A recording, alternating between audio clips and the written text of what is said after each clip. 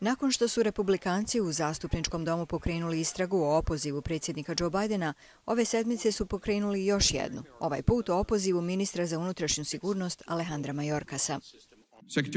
Ministar Majorkas je više puta lagao američkom narodu i kongresu. Naša istraga je otkrila više od stotinu slučajeva u kojima je ministar Majorkas obmanjivao javnost, rekao je zastupnik Mike Green.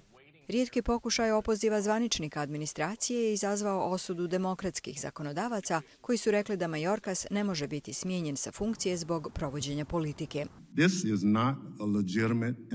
Ovo nije legitiman proces opoziva. Republikanci samo žele da podstaknu svoje političke pristalice i nastave dobijati novac za svoje kampanje. Oni već znaju da im njihova tanka većina u kongresu izmiče, rekao je Bernie Thompson. Ranije ove sedmice, Majorkas je stao u odbranu svojih akcija, rekavši da je situacija na američkoj granici s Meksikom dio neviđenog nivoa migracije širom zapadne hemisfere. Sada nam je potreban kongres da odradi svoj dio posla i poduzme akciju. Naš imigracijski sistem je zastario i već decenijama mu je potrebna reforma, rekao je Alejandro Majorkas. Why is it that they cannot figure out Zašto ne mogu da pronađu način da osiguraju južnu granicu? Sada će ministar Majorkas stati ispred vas i reći vam da je granica sigurna. Znamo da nije, rekla je Marsha Blackburn.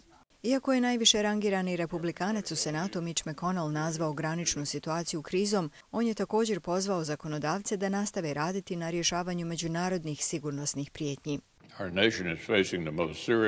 Naša zemlja se suočava sa najozbiljnijim nizom izazova nacionalne sigurnosti od pada Sovjetskog saveza, a odgovornost Senata da se pozabavi njima i dalje nije ispunjena, rekao je Mitch McConnell. Prema podacima Pentagona, Sjedinjene države su poslale posljednju pomoć Ukrajini krajem decembra, gotovo 14 milijardi dolara pomoći Izraelu, kao i sredstva za borbu protiv kineskog utjecaja u Indo-Pacifiku, i dalje su na čekanju dok se ne postigne dogovor o imigraciji. Donošenje dopunskog paketa pomoći biće američki signal svijetu da nećemo popustiti, rekao je Chuck Schumer. Nije vjerovatno da će Schumer pokrenuti proces suđenja ministru Majorkasu u Senatu koji ima demokratsku većinu ako zastupnički dom sa republikanskom većinom usvoji članke o opozivu.